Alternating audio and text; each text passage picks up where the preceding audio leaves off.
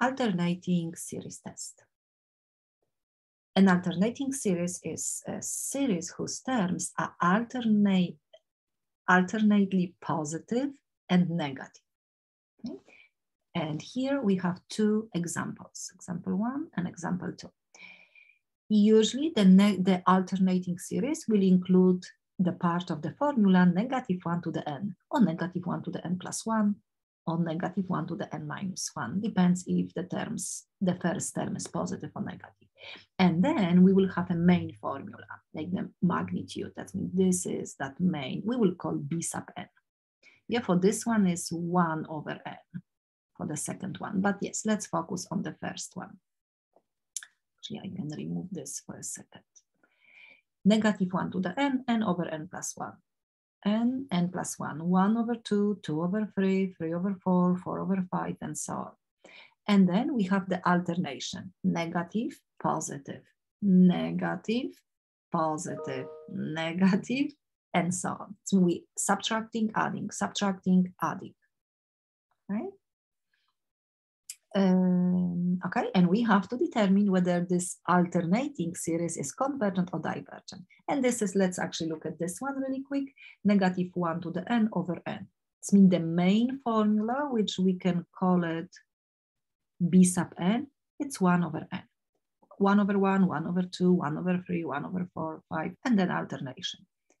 Uh, adding negative number, positive, negative, positive, negative, positive, and so on.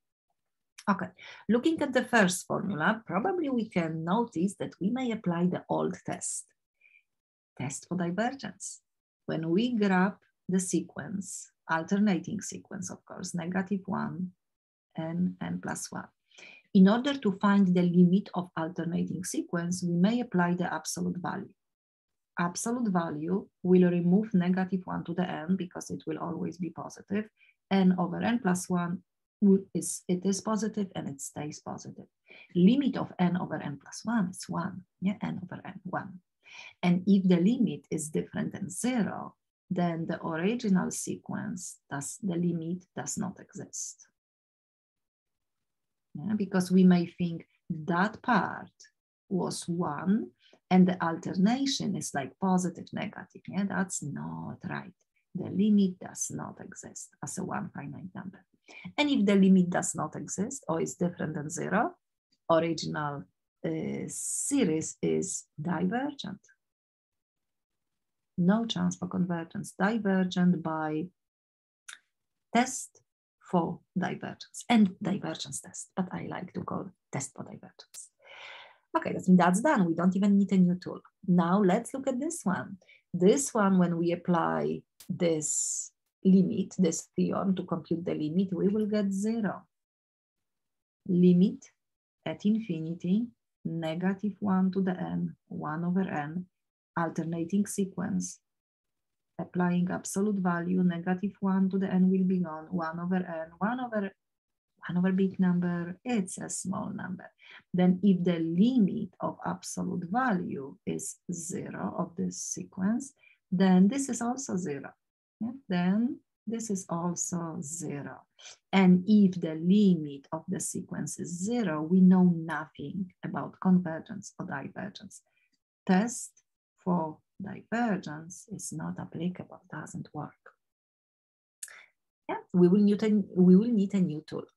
Before I show you the new tool and I can try to prove a little bit, just a little bit, let's uh, look at few things these terms, like not including the alternation, because alternation is plus, minus, plus, minus, the main magnitude, 1 over n. 1 over n must be positive. That's, of course, the main reason. Uh, I mean, that's the one of the important thing, because when 1 over n, if this will have different sign, then we will, uh, the alternation will be messed up a little bit. That's we always have to have positive terms. Yeah? These terms, not including alternation. Alternation is alternation, but the main formula is positive. Also, I would like to know that these terms are approaching zero. They, yeah, they getting smaller than they approaching zero. Uh, at infinity. The limit at infinity is zero. And also we have to make sure that b sub n is decreasing. Okay, that's the important part because if we, if this main formula is not satisfying this condition, then we will have another problem. But let's assume that we, yes, I mean, this, this is actually the case. This is the case. One over n, it's positive, limit is zero and decreasing. Probably you will say, oh, if the limit is zero, the terms are decreasing. It's partially true, but it's not always the case.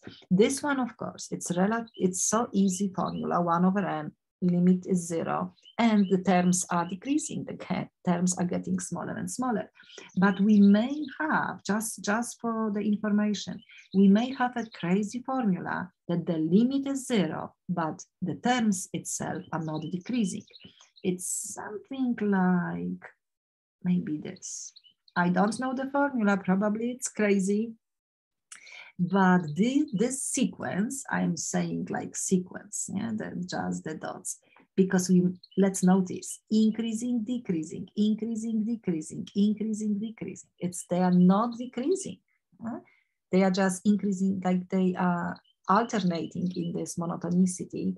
However, the whole uh, like the, the, the whole pattern is approaching zero. Yeah? It means we may have a limit zero, but not decreasing. But yeah, always we have to make sure that it's also decreasing because that will be not good. And now, when the terms are positive, limit zero decreasing, uh, we, we may create a certain, a certain like, uh, we may conclude something. Before we do this, let's look at my proof a little bit. I promise, I just want to make sure that we, you believe me. And as always, you don't have to like know how to repeat the proof, but would be nice if you will understand. So in what I put, all of the terms, we can see that's the terms. And I am claiming that the terms are decreasing. I'm not taking this alternation part, I'm just taking B sub n.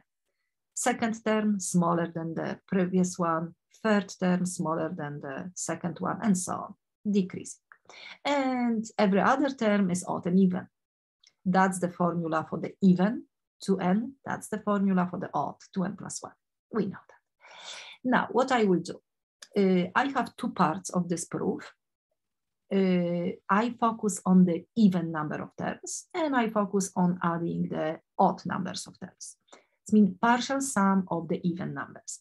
Even means that like a sub 2, a sub 4, adding two terms, adding four terms, adding six terms, eight terms, uh, even terms, and 100, maybe 200, maybe 220, even terms. That means just the even for now. And yeah, this is an example. I just stop at six. But now I'm arranging them a little bit different to look at different properties. When I combine them by two terms, since they are decreasing, b sub 2 is smaller, then this difference is positive. This is also positive. This is also positive. Then when we adding positive terms, we increasing the whole sum. I mean, this will be always a little bit greater, a little bit greater. I mean, this partial sum of the even, adding even number of terms is increasing. Yeah? As a new sequence, of course, partial sum, new sequence, increasing. Now I'm I'm tricking a little bit the numbers, okay? I'm leaving this one as the first one, and then flipping the numbers, we can see B sub 3 is positive, B, I mean, no, no, no, we adding, yeah, positive with, res I mean, they are positive. B, uh, B sub 3, what I was trying to say has a plus in front and b sub 2 has a minus. That means I didn't change anything. It's still the same partial sum. But rearranging them, I've got b sub 3 minus b sub 2 since b sub 2 is greater, yeah, because the other, the, the, the later terms are smaller. That means this is negative. This difference is negative. This difference is negative and this difference is negative. I mean, what, what I created, I have a number b sub 1 like somewhere on the top, and then we subtracting, subtracting, subtracting. Then, and this is the entire sum. That's what I can say that the partial sum of the even numbers is bounded above. We have a maximum, like a higher value limit, and all of the term we subtracting here because this is negative. If, yeah, just in general look, when we have a sequence increasing and bounded above, yeah, in general, in general, let's say this is the first term. Mm, I can say S sub one, yeah, and then another one, another one, another one. And we know that is bounded above, and I can call it S. Yeah, it's bounded above. Then if it's, the terms are increasing and bounded above, always the sequence is convergent.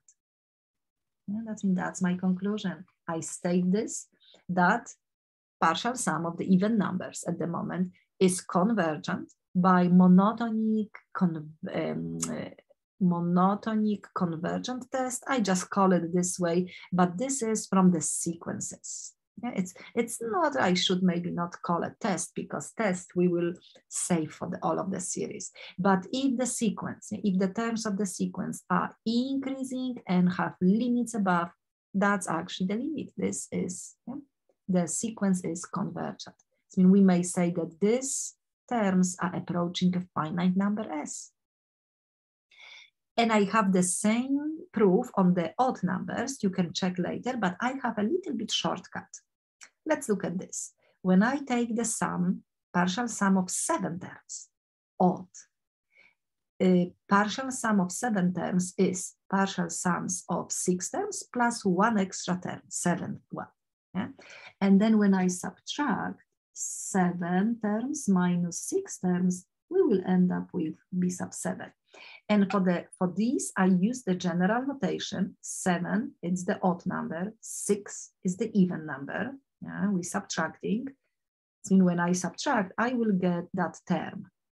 And what we know now, as n goes to the infinity, this is our partial sum of the even numbers goes to zero. The terms also goes to zero because we remember the condition, the limit of b sub n is zero. Oh no, not zero, s. Oh, I wanted to say s. s. The partial sum of the even numbers goes to s. This goes to zero.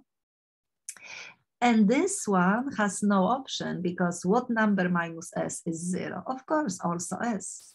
This is a really, really shortcut to show that the partial sum of the odd numbers also is approaching the same sum s. Yeah? Even and odd numbers, adding even, adding odd number of terms, uh, number, numbers of terms will go to the finite number S. This alternating series, B sub, like the, the series, is convergent and the partial sums are approaching. That, and now I'm not distinguish the difference even on odd. The entire sum of the any terms will go to S, finite number. Okay, but what is important? The B sub n formula on its own must be positive, limit must be zero at infinity, and we can see zero, and decreasing.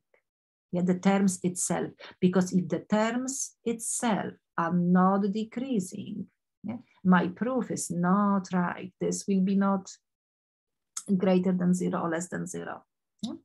I mean, that's what we claim. Then the always with these three conditions, the sum will exist as a finite number. Okay.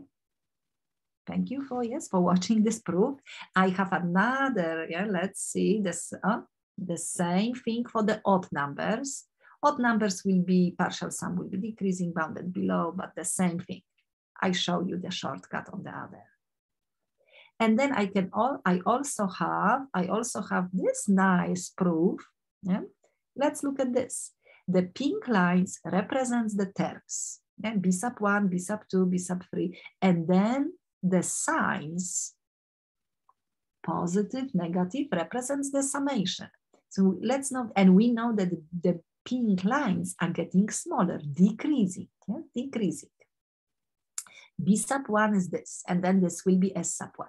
Then I'm subtracting b sub 2. Then this will be the sum of two terms. And I'm adding b sub 3. This will be s sub 3.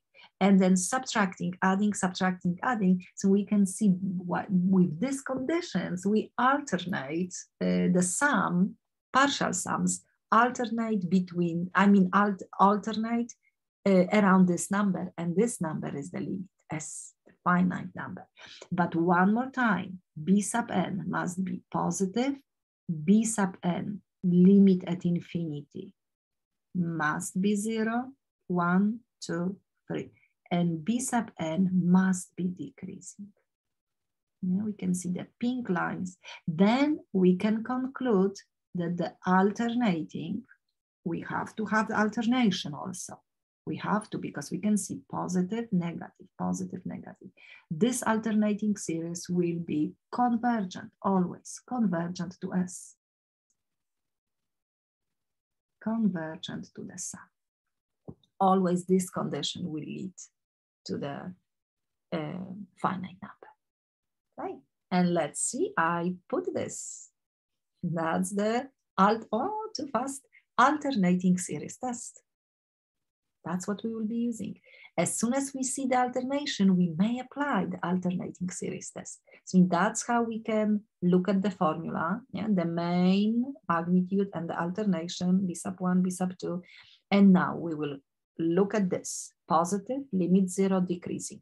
Then we can conclude convergence. We don't have to do anything. We know that this will converge. And based, again, I have another like picture, I mean another graphical S sub 1, S sub 2, S sub 3, and will alternate around S.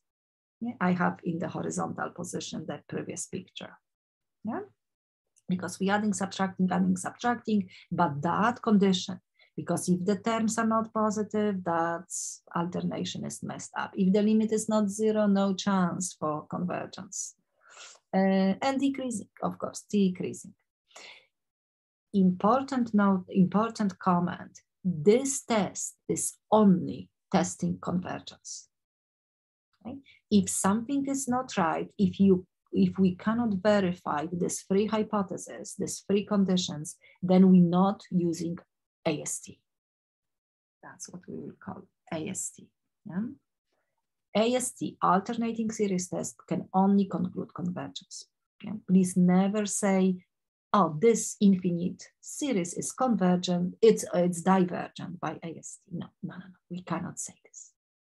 Okay, let's apply it.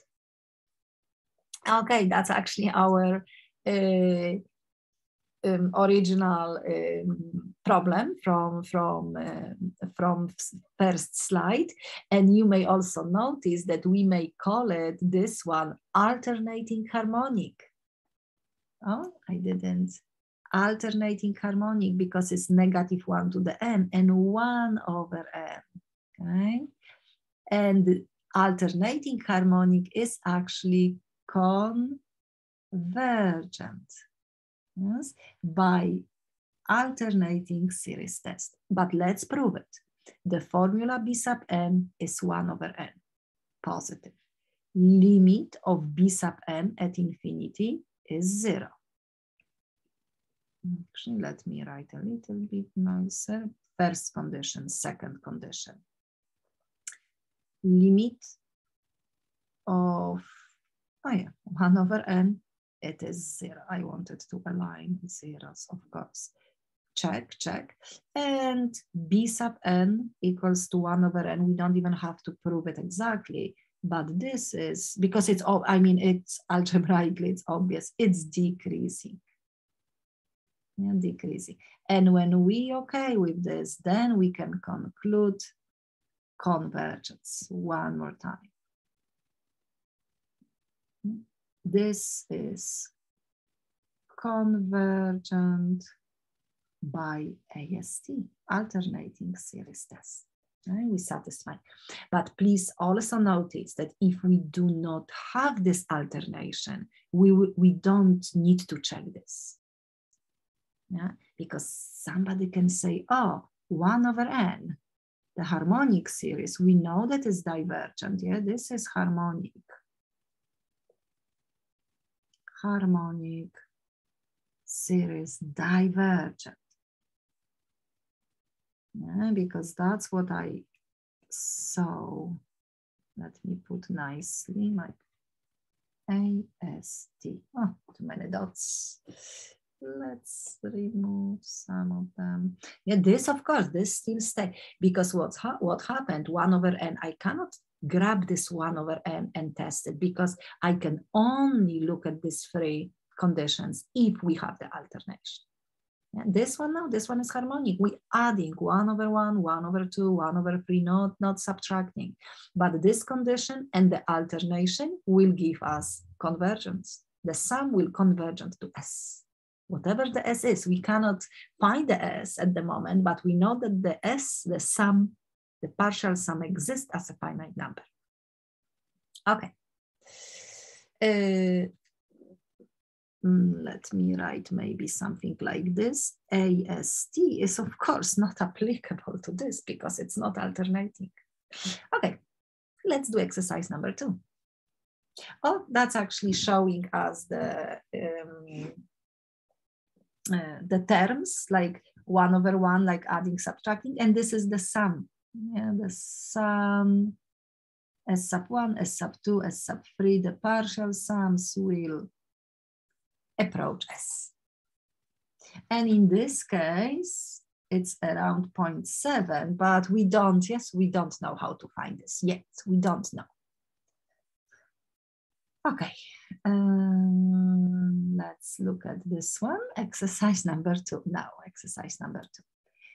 The formula negative one to the n, yes, we have alternation. 3 um, n over 4n plus 1. Okay, that's we have definitely alternating. We may try to apply alternating series test. The formula B sub n is 3n, 4n plus 1. And that's how we, we just, and we will analyze. This is positive because n starts from 1. Now, limit at infinity must be 0. And do you think this limit is 0? This limit is not zero. So we're satisfying this, we're not satisfying that condition. And I don't even have to check if it's decreasing. B sub n decreasing, let me, decreasing, we don't know. Yeah, I will not check because this one is actually not as easy to. And that we may say that the alternating series test does not work. Please do not conclude something like we're not allowed to say this test is not letting us to say this infinite series is divergent by AST. No, no such a thing exists. But since the limit failed, we may say this is divergent by test for divergence.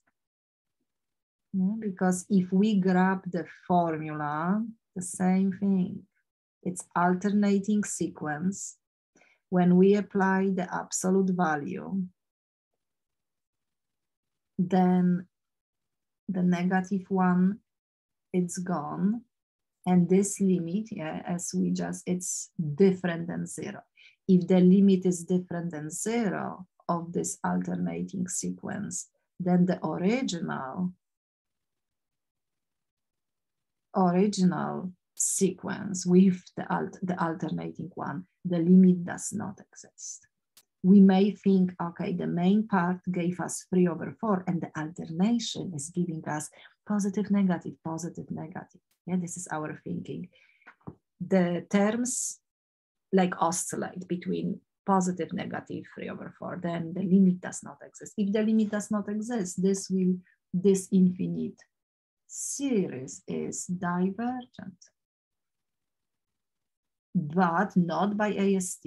Test for divergence and divergence, divergent test. And term, terms, divergent test. Okay, but not AST. I think this is an example that we fail one of the condition. We may still, yes, look at AST, but not, no conclusion. Okay, exercise number three. Okay, alternate, alternating series, n negative one to the n, n squared over n cubed plus one.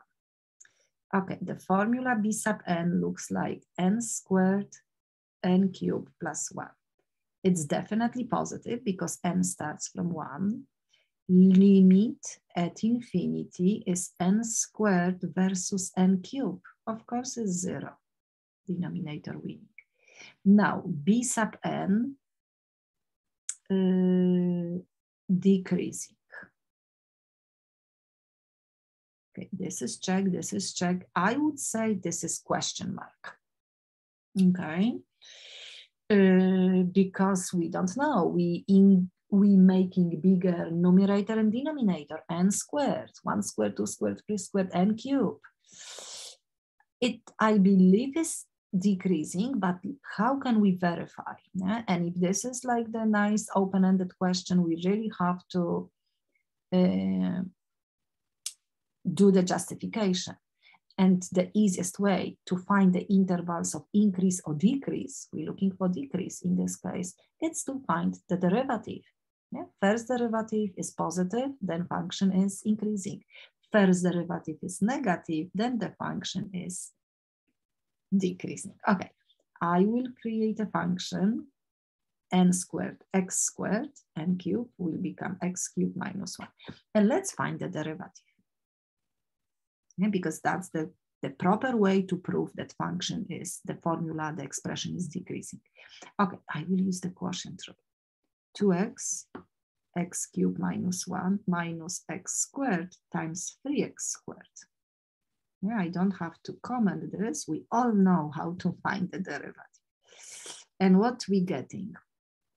2x to the power of 4, 2x minus 3x to the power of 4. Uh, okay, I can maybe, maybe I can go this way. It's not. Uh, what we will have? We will have negative 1x to the power of 4 minus 2x, okay, x cubed minus 1 squared. We can factor out x, we will have x cubed minus 2, x cubed minus 1 squared. Okay, we have nice product form. Am I actually right? This is 4, 1, factoring out negative on plus, right? Because when we factor out negative x, this will be positive, positive times negative becomes negative, negative, correct. Okay, so now we have to figure out where this formula, because this is derivative, is negative denominator is not affecting the sign because denominator, quantity in the denominator is squared. So we can only focus on this. And we will need the critical numbers. Critical numbers are the zeros from the, from the top and from the bottom, but we will not include the bottom because since is always positive.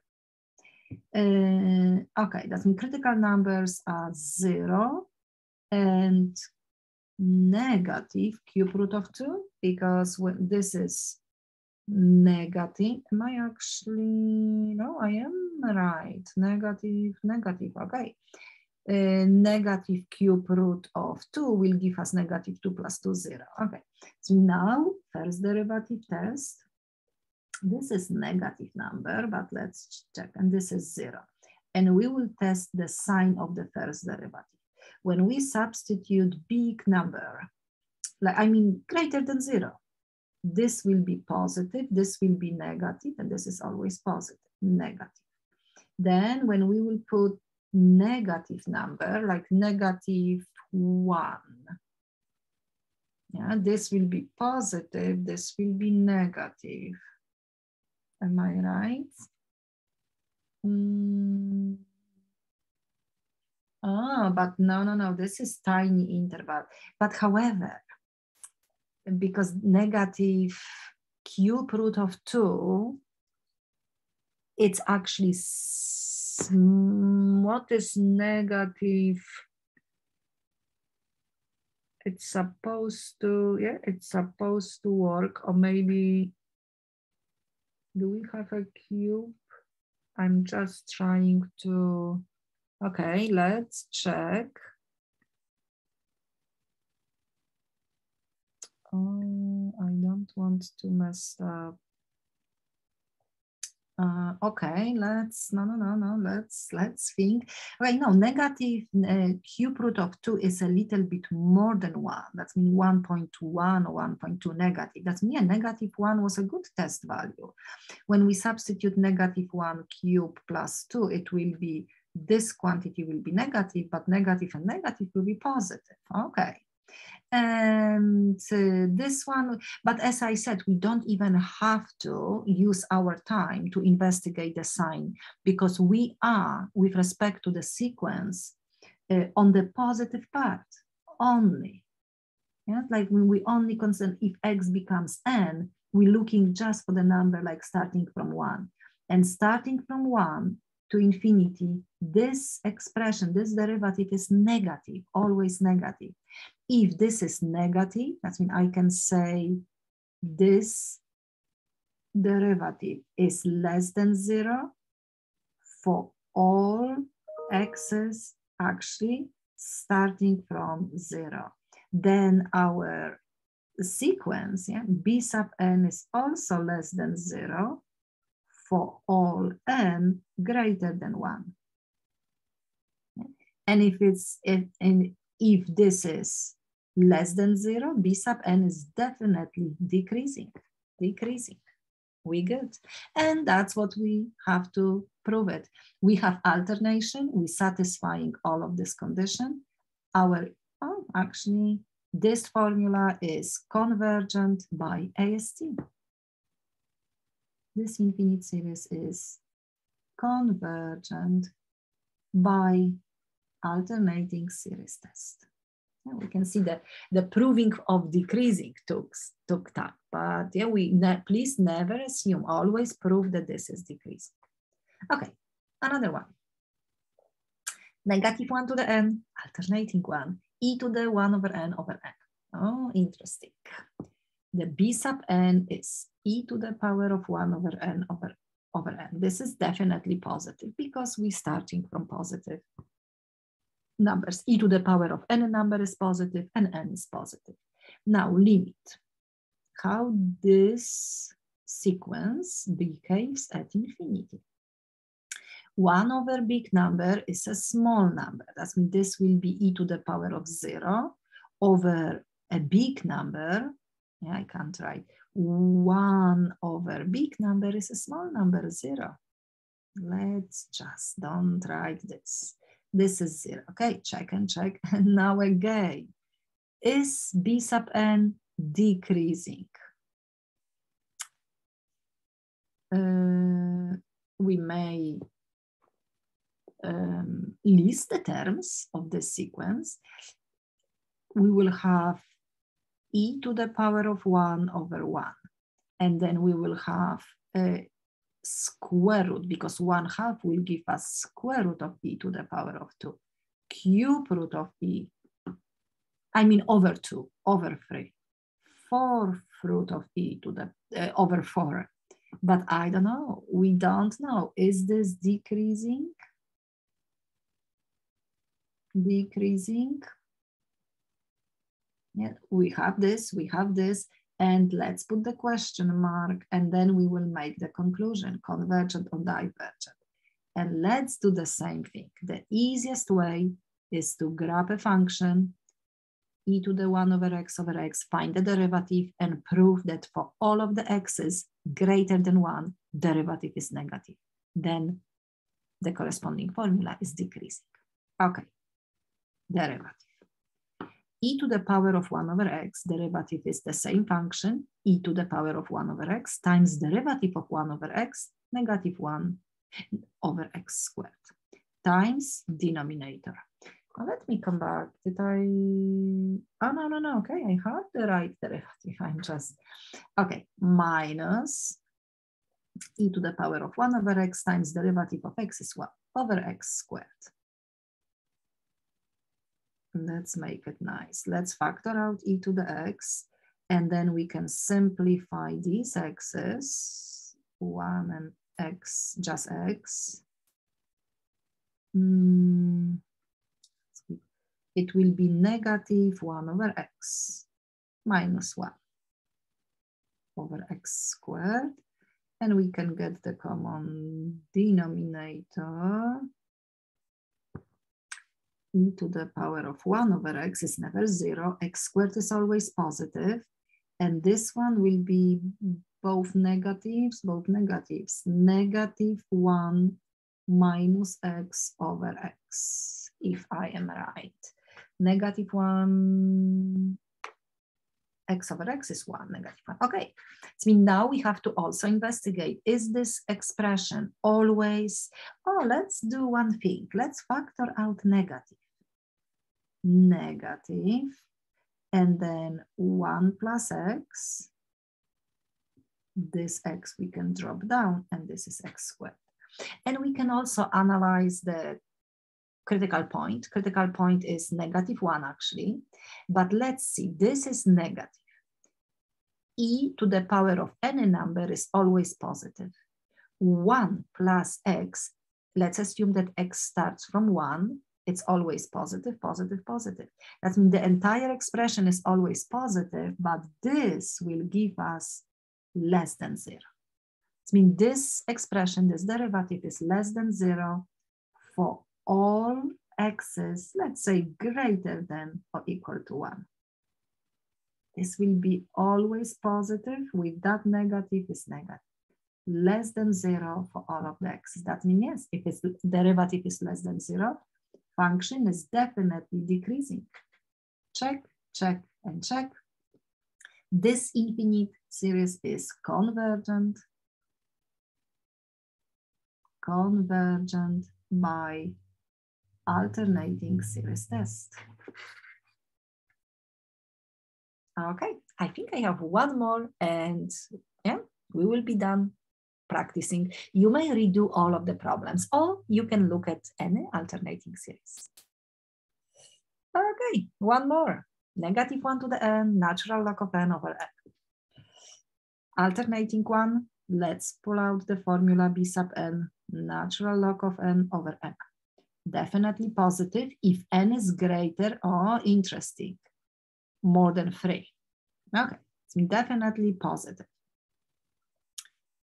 Uh, but not even natural log of n looks like this, is positive above the x-axis starting from one. Maybe not including one because one will give us zero, but it's still fine. Okay, limit behavior at infinity of natural log of n versus n. Natural log of n is slower function, n is faster, denominator is winning, it is zero. And the same scenario is b sub n, decreasing. Natural log of n, natural log of one over one, natural log of two over two. Uh, we, uh, we don't know right away derivative. Decreasing, question mark let's take a function, natural log of x over x, derivative. Derivative of ln of x is 1 over x times denominator minus ln of x times derivative of the denominator 1, x squared. Okay, we have 1 minus ln of x. Okay, that means this, we want this derivative to be negative. Let's find out where is negative. Denominator is not affecting the sign because it's x squared, only numerator. That means I will say, I want one minus ln of x to be less than zero. Yeah, to be less than zero. Then this, this means that derivative is less than zero, if this is less than zero. We can subtract one, we can multiply by positive one. I mean, multiply by negative, both sides to get positive one, then we're flipping the direction. And then natural log of n, one is natural log of e. And then I can drop the logarithms because function is increasing. n is greater than e. Means sec first derivative will be negative starting from e negative starting from E and positive probably here. Okay? But E, it's around 2.7. The first integer after E, it's 3. It means yes, it's decreasing and it's fine. It's perfectly fine. Decreasing on the interval starting from three because we're only taking integers. And that's the reason that you will most likely see three if the logarithmic function is involved, natural logarithmic, because everything works after e, decreasing or maybe positive values. Yeah, that this is always a little bit, but yes, starting from for all of the n's greater than, uh, oh, something is wrong. I supposed to put x. I think I was excited x, x, x, x, oh, x. However, when I will put n, then I will say for all of the values greater than or equal to 3, because n is integers. I cannot really use e. Okay. It means, yes, we are good. Function is decreasing, and then we can conclude convergence. This is convergent, convergent by alternating series test. Excellent practice. Thank you.